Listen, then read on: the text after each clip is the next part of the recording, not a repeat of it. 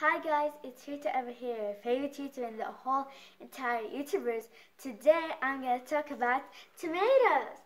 They are the tastiest things in the whole entire YouTubers and I, the whole world.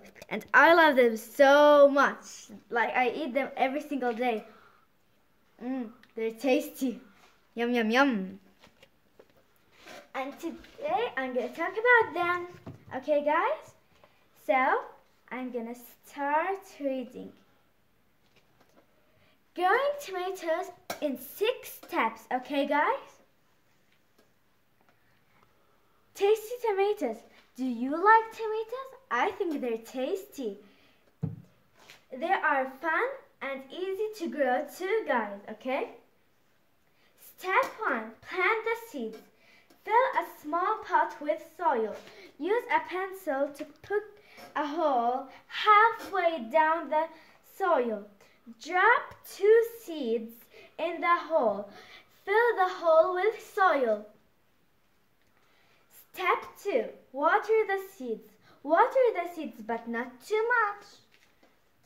Step 3. See the seedling. Each day make sure that the soil is a little wet. In about a week, you'll see a seedling poked out of the soil. Move the pot to a warm, sunny place. Step 4. Time to transplant. Soon the seedling will be a few inches high. It's time to plant the seed, the seedling outside. Dig a deep hole and put the seedling inside.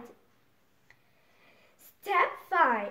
Water the seedling. Put water in the hole. Fill the hole with soil. Pat the soil.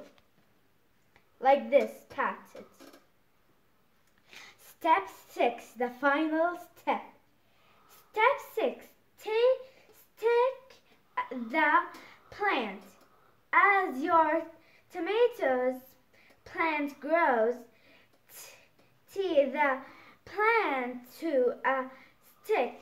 Tie the plant into a stick, like take something and tie the, the tomato plant into the stick. So when the tomatoes grow, the tomatoes will be a little big and they will fall off all.